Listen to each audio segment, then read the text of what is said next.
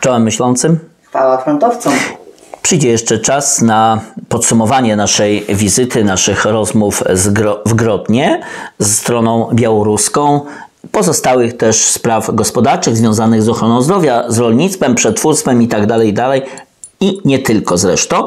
Natomiast dzisiaj ważne będziemy się takich poszczególnych działach, wątkach odnosić, które są tak zwaną też bieżączką.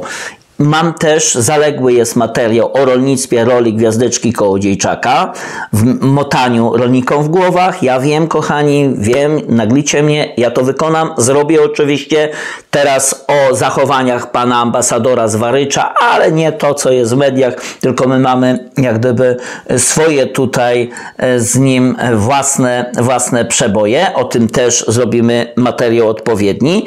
Natomiast dzisiaj skoncentrujemy się na sprawach białoruskich, tym bardziej, że w ostatnich dniach, zobaczcie, te sprawy białoruskie nabrały jakiego bardzo poważnego rozwoju. Dzisiaj już okazuje się, że wrogiem państwa polskiego, władz, no i niestety znacznej części polskiego społeczeństwa, nigdy nie będę was usprawiedliwiał, tych, którzy popierają takie reżimy, więc staje się państwo białoruskie Białoruś. Wszędzie odmieniana w różnych przypadkach, jak to Białoruś atakuje Rzeczpospolitą Polskę. Dlaczego ja nie mówię o pewnych uchodźcach, incydentach itd. Tak Kochani, po pierwsze tak, uporządkujmy sobie.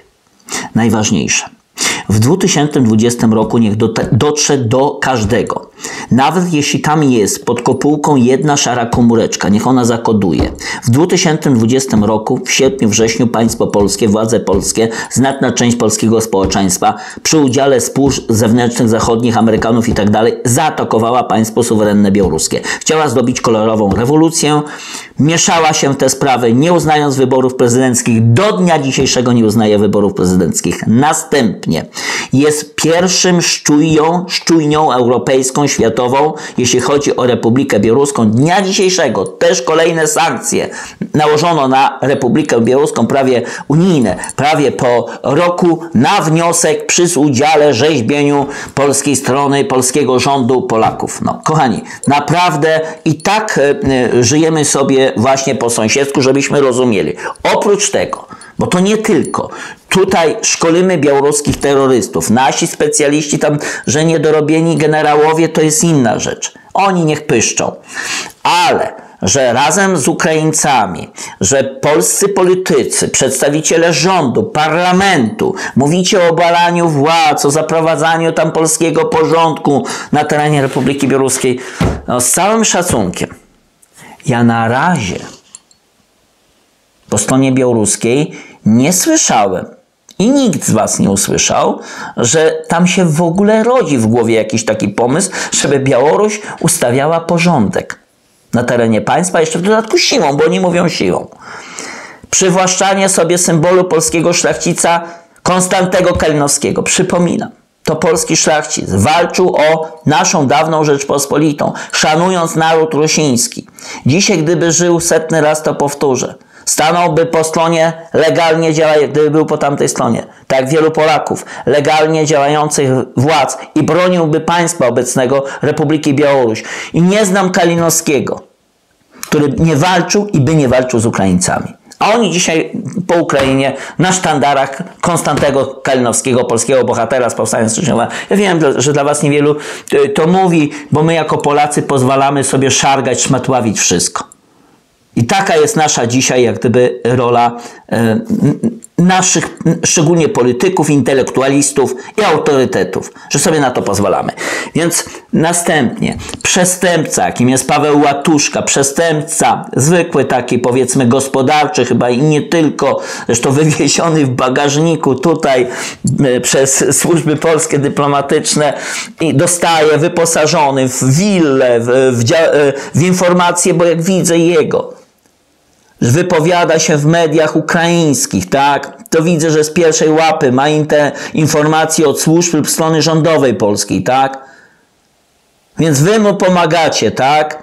Polscy politycy dzisiaj są tępieni, natomiast wywyższacie dzisiaj, utrzymujecie, jest to taka utrzymanka polityczna, partyjna w tym wypadku i rządowa, pan Paweł Łatuszko, który dzisiaj szczuje, który jątrzy przeciwko obecnemu państwu białoruskiemu i psuje te relacje. Przypominam, że się on mieni jakimś tam przedstawicielem rządu. Powtarzam, siedzi na naszym mieszkaniu, na naszych, na naszych, co tak patrzysz, że głośnik, na naszych, kochani, na naszych polskich, w polskiej Wilny, za polskie pieniądze i dzisiaj przeciwko nam.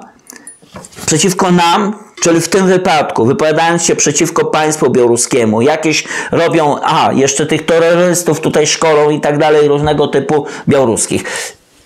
Jeszcze wiele argumentów można dzisiaj przytoczyć, gdzie my naprawdę musimy zdać sobie sprawę, że do tego, do tego poziomu sytuacja już dojrzała. Ja spotykając się z Białorusinami, też kolejny raz powtórzę. Ja im mówię, wy chyba żółci nie macie. Ja na waszym miejscu akcje odwetowe w stosunku do takiego państwa agresywnego, jakim jest Polska, przyjąłbym takie, żeby tutaj popamiętano bo jest zgodne z prawem, zgodne z jakimiś zasadami. Jeżeli tak mocno atakujesz, no to jak sobie, jak Białoruś ma po sobie uszy kulić i tak dalej. Mówimy o uchodźcach. No to jest niewielki odwet, malutki odwet. W wachlarzu, w repertuarze, który jest możliwy, powtarzam, my prowokujemy to. My się po prostu doczekamy tego odwetu. I nie wiadomo, kogo on dzisiaj dotknie w Polsce, bo sytuacja naprawdę dojdzie do sytuacji krytycznych. Z naszych rozmów, to co jest najważniejsze ze strony białoruskiej, wyraźne kolejne oświadczenie. My, czyli Białorusini, strona białoruska, od nas, Polaków, nic nie chce. Nie ma żadnych roszczeń. Prosi tylko o spokój. Prosi o nieatakowanie państwa narodu białoruskiego o zaprzestanie. Nawet chyba zapominając to, co już zrobione, chociaż ja powtarzam, jako Polak nigdy bym nie zapomniał. Ja tego w ogóle nie rozumiem. Natomiast to są wyraźne ich stanowiska strony białoruskiej, żebyśmy zrobili po to, żeśmy się spotykali. Znatna część naszych rozmów była o polityce. Oczywiście sprawy gospodarcze też były bardzo istotne, ale jestem politykiem. Przedstawicielem w tym wypadku państwa polskiego i racji stanu państwa polskiego, skoro nie ma polityków parlamentarnych, a tym bardziej rządowych, to dzisiaj ta racja, te relacje idą po tej stronie pozaparlamentarnej, politycznej. To jest bardzo konkretne nawiązywanie relacji, utrzymywanie więzi. Tych niewielkich, cienkich, ale jednak istotnych. Bo skoro wola po tamtej stronie, powtarzam, jak gdybym był po stronie białoruskiej, prawdopodobnie żadnych relacji z Polską bym już nie utrzymywał. I dziękuję Bogu i się bardzo cieszę, że to państwo chce utrzymywać relacje, że liczy na normalność, że chce normalnych tutaj relacji. Jednocześnie rozmawiając o polityce kolejny raz powiem, też im wyjaśniam. I mają na szczęście. Niech Morawiecki i inni nie opowiadają drdymałów że oni, Białorusini, chcą wpływać tu na jakiś proces wyborczy. Kochani, Białorusini dobrze wiedzą, że to nie ma znaczenia, czy PiS, czy PO, ktokolwiek Konfederacja. Też wyjaśniłem dobrze o Konfederacji. Jaka to jest markowanie, pozoracja, markirowka tak zwana. W związku z tym oni nie mają złudzeń. Ktokolwiek w Polsce nie wygra, to i tak rządzą Amerykanie. Przecież to państwo jest niesuwerenne. Więc mają tego świadomość, ale liczą, że nie przekroczymy tych krytycznych linii, poza które będzie ciężko się później odwrócić, a nawet niemożliwe. Teraz bardzo istotny fragment, jak to się eskaluje wszystko. Z rozmów z historykami, bardzo pouczające. Kochani, bardzo trzy kwestie, bardzo konkretnie. 17 września 1939 roku pakt Ribbentrop-Mołotow. Pan prezydent Aleksander Łukaszenko od 1994 roku rządzi Republiką Białoruską. Tak? Wiemy, że ta data nas dzieli, bo musi dzielić Polaków i Białorusinów. I nie jest to nam przyjazna, ale data, którą można zrozumieć. Dlaczego do tej pory, od 1994 roku, w ogóle od powstania Republiki Białoruś, nikt oficjalnie tego nie świętował. To nie, nie, nie świętowane jest akurat 17 września w tym rozumieniu, tylko Dzień Jedności Narodowej. To nie jest jakoś bezpośrednio wymierzone, ale w tej dacie. Dlaczego tego nie było do tej pory? Bo był wielki szacunek do Polski i Polaków. Wielki szacunek, wiedząc, że jest to rana. Ale skoro Polacy, Polacy, bo już zostawmy te rządy i parlament, niestety znaczna część Polaków, dzisiaj chce rozdrapywać rany, uderza po państwie białoruskim, uderza po władzach, uderza po narodzie, jak najgorsza szczujnia w Europie, już gorszej nie ma, no to w tamtym roku był pierwszy raz świętowane 17 września. Teraz będzie. W tym roku i kolejnych. I wokół tego będzie się dobudowywać. My, Polacy, wiemy, jak to jest. Jak się robi wokół pewnych świąt narracje. Każdy naród to wie. I nie będzie to nam przyjazna narracja. Dalej. No i co? Gdybyśmy nie zrobili tego i nie zachowywali się tak agresywnie w nastawieniu antypaństwowym, antybiałoruskim, to to święto by było, myślicie? Ono mogło dawno być. Ono nigdy by nie było, nie byłoby takich zachowań. Ale to się rozkręca powoli. Dalej. W Polsce jest Instytut Pamięci Narodowej. Na Ukrainie także jest Instytut Pamięci Narodowej. Ja już czuję po rozmowie, bo był taki wątek, zresztą nie podpowiadam tamtej stronie białoruskiej, ale już czuję. Będzie powołany Instytut Pamięci Narodowej po stronie białoruskiej. A pomiędzy nami różnych spraw można nazbierać. Hu, a nasi z IPN-u dobrze wiedzą, jak wszystko można rozdmuchać, tak? Mały ogieniek, który potrafi, od którego dom potrafi zapłonąć. I nie tylko, a nawet całe osiedle. Można to zrobić. I to się stanie. I później odwrócić z tego, a źli ludzie nie zawsze będą mądrzy politycy na terenie Republiki Białoruś i nieagresywni jak obecnie. Nie zawsze. Nie zawsze. A pamiętajcie, że historycy robią ten tak zwany zaczyn w każdym państwie. A później polityk korzysta. Doprowadzimy się do tego. Dalej, co mi na koniec powiedział białoruski historyk. My tutaj Podlasie mieliśmy dużo wspólnych grantów różnego typu, polsko-białoruskich, poprzez też Unię Europejską jako państwo partnerskie. Wszyscy to wiemy, pamiętamy. Dzisiaj kasy jest, pieniędzy jest, strona rosyjska finansuje ile trzeba. Na te granty na stronę białoruską. Nie trzeba być wielkim wieszczem, żeby się domyślać, co będzie finansowane, jaka będzie narracja. Brawo, róbmy tak dalej. Ciężko będzie to odkręcić. Wymotacie, namotacie. Oczywiście za przyzwoleniem znakomitej większości społeczeństwa. I będą chodzić takie tacy zdziwieni, że uchodźcy, że cokolwiek, nie, Białoruś nie ma prawa odwetu, wyobraźcie sobie. Nie ma prawa. Tylko my mamy prawo atakować. Nie? Kochani, odwet się rozpocznie. Naprawdę się rozpocznie. I to nie, i nie będzie czegoś takiego, że dopóki będziemy tak agresywni i nawet gdy dalej nie będziemy eskalować, gdybyśmy się nawet zatrzymali, to w mojej opinii nie będzie wiele nam rzeczy darowanych, które zostały już wykonane. A tyle trzeba uporządkować.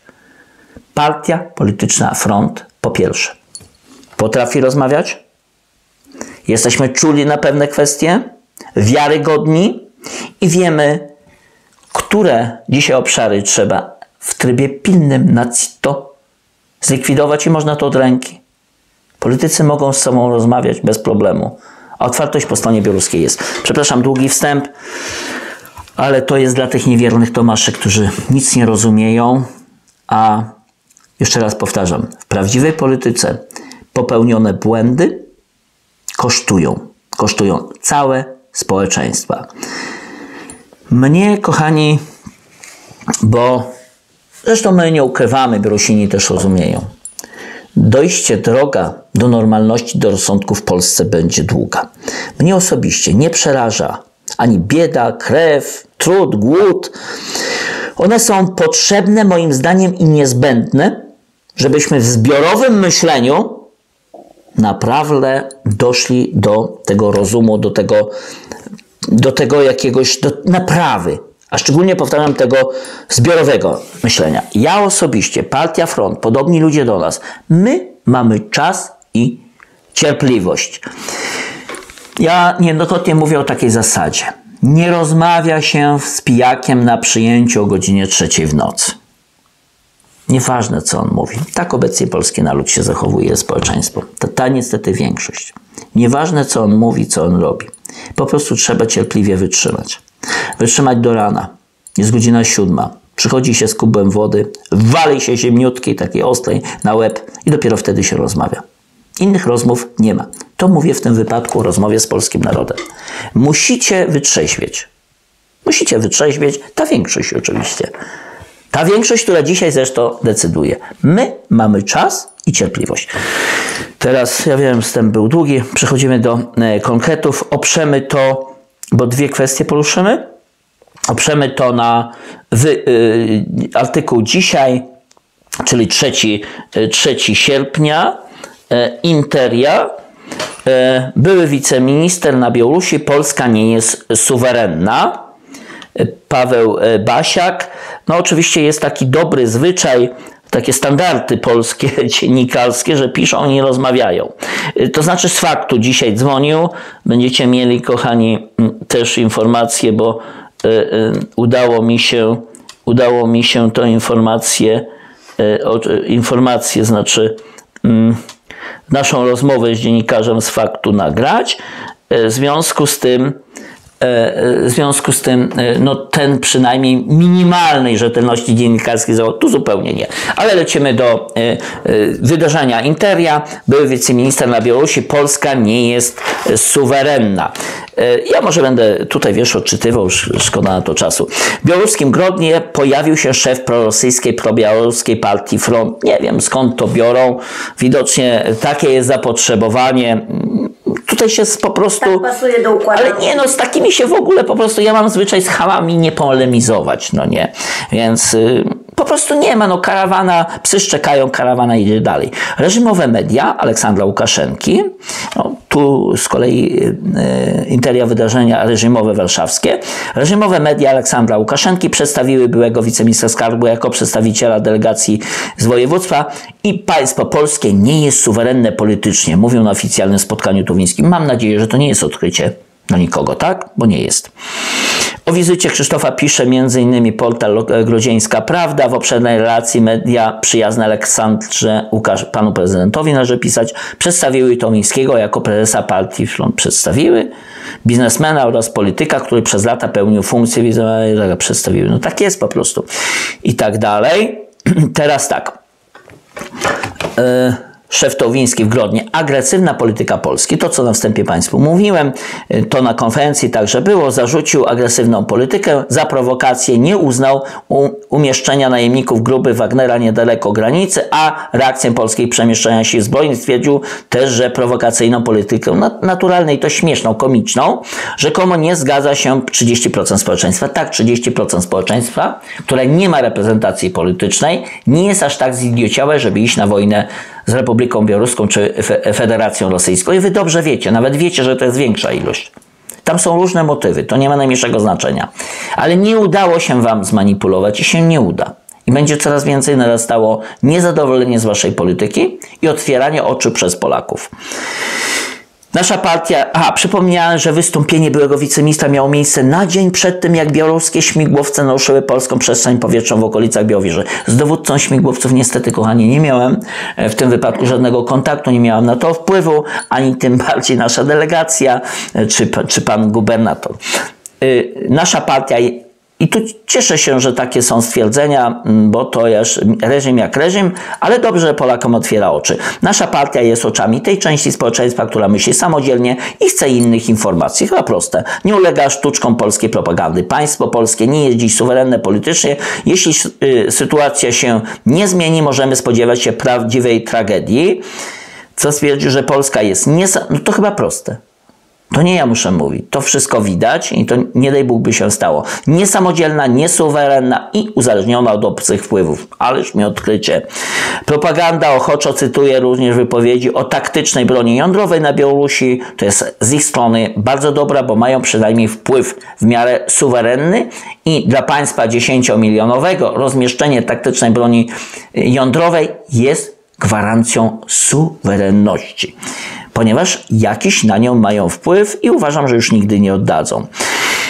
I oczywiście Towiński swoim powtarzał też tezy znane z propagandy rosyjskiej białoruskiej. Jeżeli korzysta propaganda rosyjska, białoruska z moich tez, z moich przemyśleń, z moich ostrzeżeń, to bardzo się cieszę, ponieważ nie wieszczył, tylko będzie konflikt wewnętrzny z udziałem Ukraińców. Mówił o problemach i, i to chyba jest jasne, bo, bo taka jest konstrukcja którą sobie zakładamy, nie z winy Ukraińców, tylko niestety części Polaków i naszego rządu. Mówił o problemach z dostępnością leków. Nie, proszę Państwa. O ochronie zdrowia, systemie, w ogóle chyba o lekach to marginalnie żeśmy rozmawiali, tam problemy farmaceutyczne są. Białoruś zaczyna produkować własne leki. Bo co to są leki?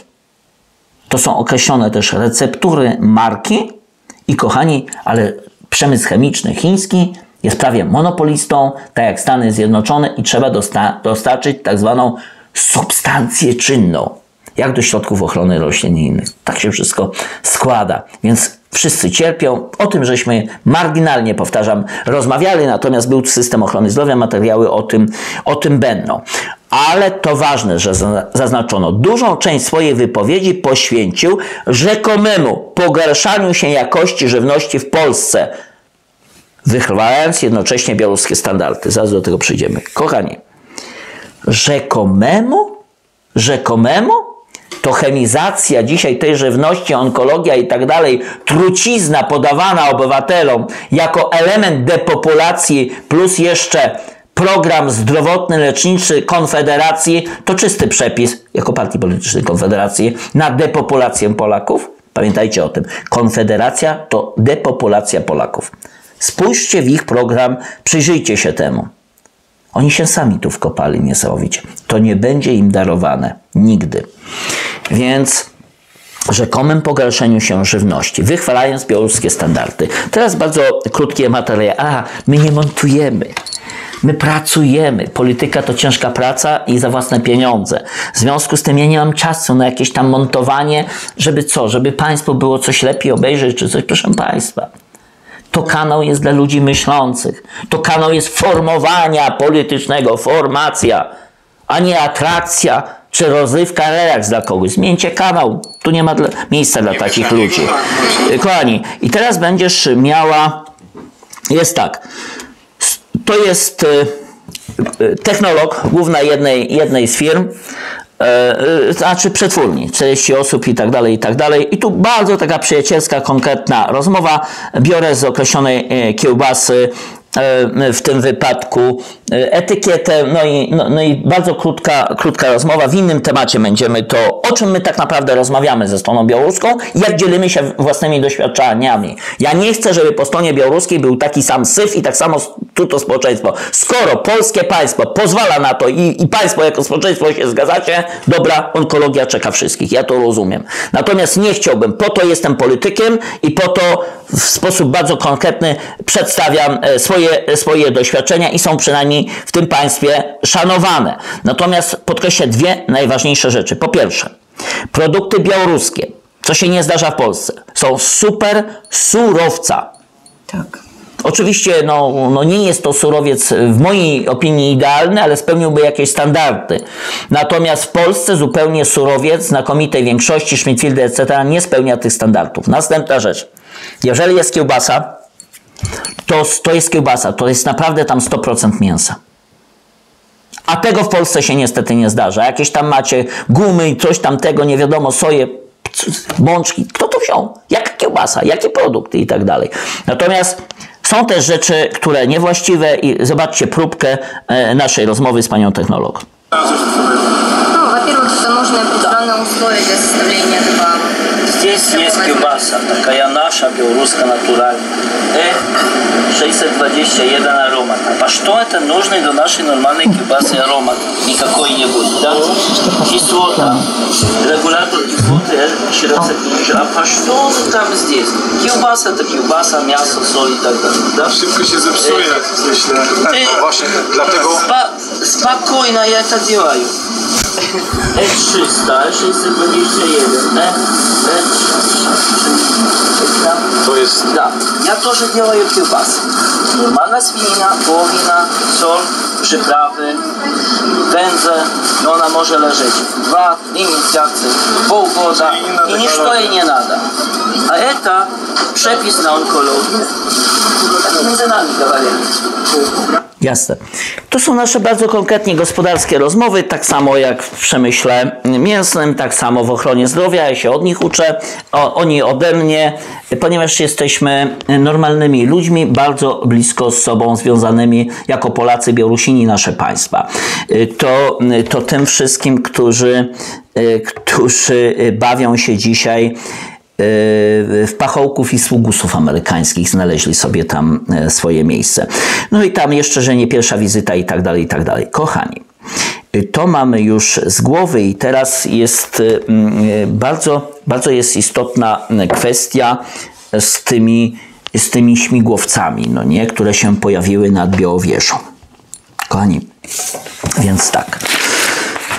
Po pierwsze, mm, to ja nie przesądzam. Proszę mnie wziąć poważnie, nie przesądzam, tylko tak. Jak rozmawiałem z kimkolwiek, to śmiech budziło, bo oni nie widzieli Wagnerowców, jeśli chodzi o społeczeństwo. Pokażemy później materiały, jak wieczór wygląda w Grodnie, pięknie tego, jak sobie chodzimy i tak dalej. No i policjanta nie widziałem. No i milicjanta, policjanta, no nie widziałem na miły Bóg, bo tam niepotrzebne. Wojska żadnego nie widziałem. No w końcu prawie trzy doby w tym Grodnie. Nie widziałem wojska na miły Bóg. Żadnego. No i raz, e, no nie, w trakcie przejazdu raz czy dwa wozy policyjne, patrolu jednego nie było. A godzinami byliśmy. Więc oczywiście czują zagrożenie. Też, bo faktycznie za granicą ich zachodnią ktoś może w Warszawie nawywijać. Te mają zupełną tego świadomość. Natomiast pamiętajcie, nie ma czegoś takiego, że to społeczeństwo, no bo to, to, to działa propaganda, to jad nienawiści, tak jak w Polsce, bo ja widzę, ja, ja to obserwuję. Zresztą Państwo też obserwujecie. Mimo, że Polacy bronią się, na szczęście Białorusini jeszcze tym nie są dotknięci. Więc teraz wracamy do tych śmigłowców w Białowieży. Dwie istotne kwestie, dwie wersje, nic nie przesądzam. Pierwsza wersja. Biorąc pod uwagę sytuację odwetową, wcale bym się nie zdziwił, że chłopaki z Białorusi on, to są tacy normalni ludzie, nasza dusza, tak? My się niczym nie różnimy. Ja bym zawsze to zrobił. Wlecieli w polską przestrzeń. Oczywiście strona białoruska wyraźnie jeszcze raz potwierdzałem. Takiego incydentu nie ma, aczkolwiek też nie mam do końca jak gdyby to potwierdzone, bo po prostu jak gdyby czasu nie było. Oni po prostu, jeżeli by to się stało, to mm, mają na tyle honoru, żeby się przyznać. Natomiast wracamy do tej wersji, że wleciały. To jest normalne, no nie? Oni mieli świadomość, że mogą być zestrzelenie, że można to przepłacić życiem. No ale dlaczego by nie? Dlaczego by nie? To taka nasza, powtarzam, dobra dusza. I nieważne, czy to Polak, czy Białorusin. Jeżeli ktoś tego nie rozumie, no to niewiele ma e, wspólnego z pewnym modelem polskości. To jest po pierwsze. Po drugie, no jeżeli kochani, mamy taką sytuację odwetową, jaką mamy dzisiaj, to ja bym się nawet nie zdziwił. Tym bardziej, że Białorusini, po pierwsze wiecie, że tam zgłaszali, mieli ćwiczenia i tak dalej, ale to, co jest naj, najważniejsze, oni mają świadomość, że Polacy nie mają tam żadnego, żadnej możliwości reakcji.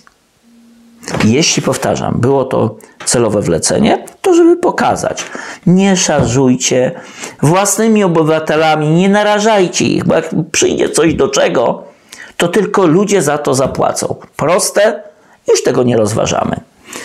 Ale następna, ważniejsza kwestia, czego się osobiście obawiam jako polski polityk. A Białowieżę znam nieźle. Od 2004 roku obserwuję w Polsce, obserwowałem, z wieloma osobami rozmawiałem, byłem przerażony, tak zwany czynnik ukraiński. Tu na Podlasiu, co jest nienaturalnym, że Rusini, naturalnie Rusini, którzy mieli tożsamość białoruską, rzeczą jest naturalne, małorusińską, ale że zaczęli się określać, określać 2004, po 2004, jako jako ta mniejszość ukraińska, jako Ukraińcy, no nie? To oczywiście było i wcześniej, ale to się nasiliło. Przypominam pierwszy Majdan i tak dalej. Kojarzmy fakty. I wówczas y, miałem, przecież obserwuję, tu żyję. Miałem szereg różnych zdarzeń. Nawet kolegę bardzo dobrego, który mnie przeraził. Przeraził. Nazwisko na Iwski, jego pradziad razem z moim jeszcze w dodatku był klerykiem w powstaniu styczniowym, walczył przeciwko Moskalom. I on dzisiaj, tamten, tamten mm, pełnił też funkcję pewną, no nie? Nagle oznajmił mi, że on jest Ukraińcem. Że on jest Ukraińcem. Tu na tej ziemi podlaskiej. Już go na szczęście wśród nas nie ma. Więc y, i to nie jest odosobniony przypadek. Bardzo ostre finansowanie, wspieranie. Białowieża między innymi jest takim, to także osoby wpływowe, stanowiskowe. Białowieża między innymi jest takim obszarem. Jeżeli tak, patrzę jakieś tam, pamiętamy komunikaty, nie rozwodzę się nad tym. Bardzo dużo mi rzeczy tu nie gra. W większości wypowiadają się osoby, które są w jakiś sposób powiązane. To jakiś tam profesor, to jakiś tam no, pana to jeden to syn e, profesora matematyka, on mnie uczył i tak dalej, i tak dalej. Ja was znam. W związku z tym, e, w związku z tym jak, dosyć mi to hollywoodzko pachnie. I tak amerykańsko, służbowo, bo żaden problem jest tym osobom pewne rzeczy coś tam, e, coś tam zasugerować a nawet y, śmigłowce mogły się jakoweś znaleźć. No niekoniecznie z takimi oznaczeniami. Ale już pomijając, powtarzam te fakty, budzi moje wątpliwości, że mm, dużo jest tej niespójności, z którymi mamy tam do czynienia i dużo tego czynnika ukraińskiego. Dlaczego? Ukraińcom bezwarunkowo zależy, kochani, na czym? Żeby Polacy weszli za wszelką cenę w wojnę z, z Białorusią, nie tylko z Rosją, z Moskwą. Białoru... Ukraińcom konflikt z Białorusią jest nie to, że na jakąś na rękę, jest ich być lub nie. Ja to rozumiem. Oni prowadzą wojnę. Prowadzą wojnę z Federacją Rosyjską i niewypowiedzianą prowadzą wojnę z Republiką Białoruską. To rzeczą jest naturalną. Nic tu nie ma w tym dziwnego.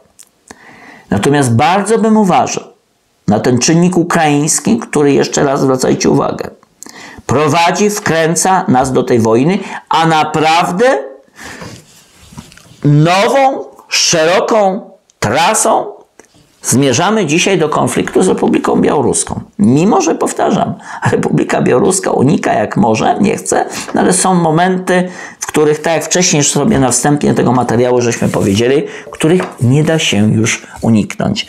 I później płacz i zgrzytanie zębów, tak? E, tu przy okazji, wracając do Białowieży. No Białowieża dużo straciła. Zresztą tam żaden problem jest przekupić pewnych ludzi i zastraszyć i tak dalej. Biowieża bardzo dużo straciła przez to, co się dzieje, bo nigdy to na tej granicy nie powinno się dziać, żadnych murów, żadnych wojen, za które odpowiada strona polska, jeszcze raz powtarzam. I nie będę nigdy z nikim polemizował, kto ma odmienne zdanie. Mamy inne światy. Życzę powodzenia. Historia oceni. Natomiast Białowieża na pewno straciła. Żubry. Żubry właśnie takie żubry, straciła momencik. Jest to, jest to prezent y, y, formacji front od pana gubernatora, guberni województwa e, czy obwodu grodzieńskiego. I jest to żub, który jest, e, z, e, który jest z fabryki takiej naszej pińskiej, tam chyba jakiś, nie pamiętam, krynoczek, coś takiego piński.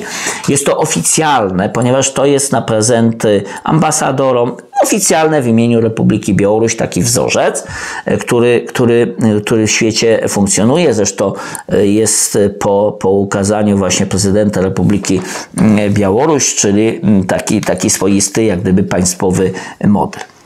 I pan gubernator, wręczając mi, wyraźnie powiedział, że my do tej pory braliśmy od was żubry. Właśnie produkowane czy wytwarzane, rzeźbione u nas w Białowieży.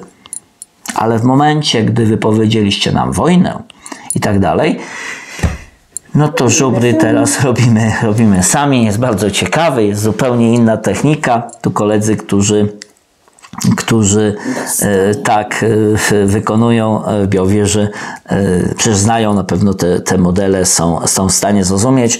Między innymi, a to był spory też przy okazji, tak powiem, bo jest to symbol państwa białoruskiego, e, spory rynek e, zbytu. E, Więc e, mam nadzieję, że do tych, do tych spraw żeśmy tutaj doszli. Teraz jeśli chodzi o Wagnerowców, to sporo żeśmy rozmawiali. Natomiast proszę Państwa, pamiętajcie, odwet to jest odwet. Ci ludzie to są instruktorzy w większości. Niesamowici bojownicy z niesamowitym doświadczeniem. Przygotować człowieka w ciągu trzech tygodni, czterech do takich lekkich zadań sabotażowych to żaden jest problem. I to się stanie, bo żeśmy sami to sprowokowali. Nie mówię już, że nawet zasłużyli. Czy dopiero musi dojść do takich rzeczy, żebyśmy zaczęli rozumować, żebyśmy poszli po rozum do głowy? A powtarzam jeszcze raz, skala uderzeń w Białoruś, którą my jako Polska żeśmy przygotowali, dzisiaj wskazuje na wprost proporcjonalne, a to są niesamowicie na, o szerokim zakresie, działania ze strony Republiki Białorusi o bardzo szerokim zakresie. Więc nie dziwmy się, że będą na terenie Rzeczpospolitej różne, powtarzam, zdarzenia. I teraz jeszcze raz. Miejcie. My możemy to, co robimy. Staramy się tak, utrzymujemy te kontakty, pokazujemy, że Polacy są w bardzo trudnej sytuacji, są tłamszeni wewnętrznie. I, i proszę Państwa, ja, ja Was muszę usprawiedliwiać bo mi wstyd za was jako Polaków. Muszę pokazać w jaki sposób, w jakiej sytuacji, że jak żeście się doprowadzili, tracąc suwerenność. Ja w ogóle się tym nie zgadzam. Ponoszę niestety razem zbiorowo konsekwencje. My mamy tego świadomość, ale na miły Bóg, ja przynajmniej tej odpowiedzialności. Jestem wolnym człowiekiem, myślącym człowiekiem. Nie ponoszę, nie będę ponosił. Siebie nie muszę usprawiedliwiać. Mi to wstyd mówić. Mi to jest policzek. Natomiast z tamtej strony ja nie usłyszałem przykrego słowa. A powinienem. Ja je zniosę. Bo to rozumiem. Tym bardziej mi wstyd. Bo ja z ich strony bym nawrzucał. Tak. Mam nadzieję, że zaczniemy myśleć. To jest nasze życie. Pamiętajcie, ubiegłe godziny nigdy nie powrócą te zdarzenia, które złe zrobiliśmy, mają zawsze swoje konsekwencje. Natomiast póki oddychamy, zgodnie z naszym hymnem, póki my żyjemy, wszystko zmienić możemy. Pamiętajcie o tym.